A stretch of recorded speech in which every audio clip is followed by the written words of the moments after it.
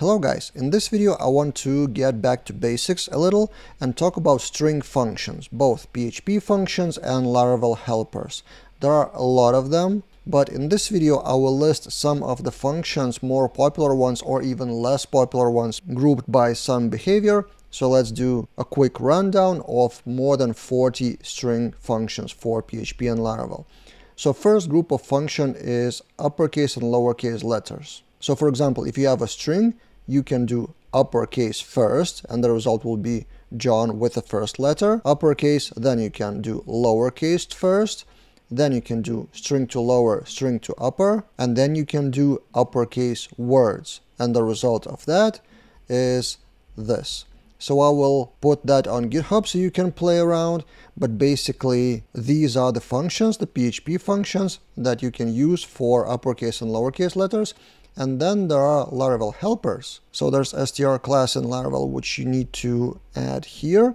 Illuminate support str, and then it offers these things. So you can change the case to camel case, to snake case, which is with underscore. Then there's kebab case. You can read about it, like Google about it, which is basically dash case. And then you can also perform the slug from your title. Usually it is used for SEO purposes. The result will be something like this. And again, visually, those are here in the page. Next group of functions of helpers is about trimming and doing substring. So if you have some string with spaces, you can do trim, basically will remove the spaces from the beginning and the end, but you can also do left trim, L trim, and right trim, R trim. So that would remove the spaces only from the beginning or from the end. Also in that group I added substrings. So there's a substring, for example, you have this string and you need the substring of that starting with the character 1 and by remember characters are from 0 like in arrays so offset 1 and length 4 the result will be with. Then there's also substring replace. So you can replace some string with another string. And that is often used in arrays from what I've seen. So replace string with some other string in a lot of strings. And also there's substring count. So how many times this string is within that string. So in this case, result is two times. And within that group, there are a few Laravel helpers that can help you. What I like is add some prefix or one characters to the beginning if it isn't present. If it is already present, it won't be added. And similar to the finish. So you can add slash to the end and the result will be this. So on the page, again, all of those results are mentioned here. Next group, let's do it a bit quicker because you can Google it all and find it all in the PHP documentation. I will just bring the examples. So if you need to find out whether some string contains another string, there are a lot of PHP functions around it. Just general contains or not contains. And remember, this is case sensitive. So in this case, result will be false. Then there's also starts with or ends with, and in both those cases result will be true. Then there's string string or string i string, which is case insensitive. This will return not the boolean, but the part where this starts. So for example, this is not found, but in this case, a is found, and everything will be returned from the position that is found till the end of the string. So result will be ABC. Then there's position. What if you want to know the position of the string where that substring is present? So in this case, result will be 2. Remember again, it starts from 0. Then there's case insensitive, same thing. Then str rpos. So reverse position, which means the last occurrence of that letter. So as you can see, letter C is here and here, and the last occurrence would be returned, which is result 5. And also there's reverse case insensitive position, so not very readable the function name, but it works. And also a few Laravel helpers on top. You can find out similar to string contains, contains all, so you can pass the array if all of those strings are present and also starts with any of those and ends with any of those in the array. Group number four is really small one, just length of the string, and there are two functions from PHP, just basically string length, which will just give the number of 11, which is like 4 plus space plus 6, which is 11.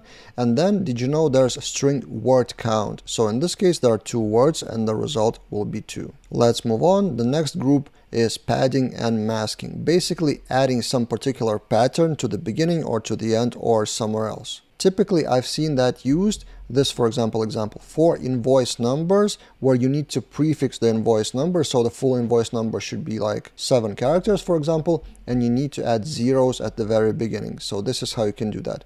str pad, the original string, what would be the length of the final string, then what to pad with the symbol. It could be like stars, for example, or zero, and then where to pad, left or right. And then Laravel adds a few helpers to make it shorter. So there's pad left, pad right, or pad both. So in pad right, the zeros would be added at the end, and then pad both, for example, with asterisk, and this would be the result. It would add those symbols on both sides until the actual length is 7. And finally from Laravel str mask, which was introduced pretty recently in 8 point something version, I don't remember exactly, you can google it up. You can replace all the characters of the string since this index with any characters you want. So in this case, from index 4, which is this one, everything will be replaced, all the characters with asterisk. And there's also possibility to have length with minus, so where to start, where to finish,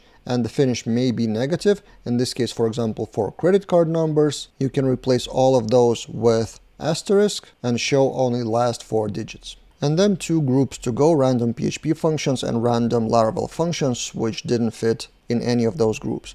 So number formatting is used mostly for money so for example, if you have some number which doesn't contain the cents, the decimal numbers, so if you want to still show dot zero zero, this is the function to use. So you can override the decimal separator and the thousand separator as well. Then sprintf. This is often used instead of concatenating the string. So for example, if you want to have some number dot variable with string dot variable. This is a personal preference. Some people prefer to do sprintf, then define the variables with formatting. For example, this is a digit and this is a string and there are many more operators available. So again, look it up in the documentation and then you replace all of those percentage something with values just listed one by one. And the result will be some number one, two, three with string something. Next, did you know that you don't need any external CSV library to get the contents of the CSV file? There are a few functions related to file get CSV. I think it's called fget CSV. But basically, if you have the string from CSV, one row, this string get CSV will parse that comma separated file and transform that into the array. So comma, comma, comma, and the result are three elements of the array. Next, string reverse. Not sure where you'd use it, totally random, but it exists, so the result will be just this in reverse from right to left. Then two functions that are hard to comment quickly because they contain algorithms to compare the strings. So you need to read it in the documentation, what is Levenshtein difference.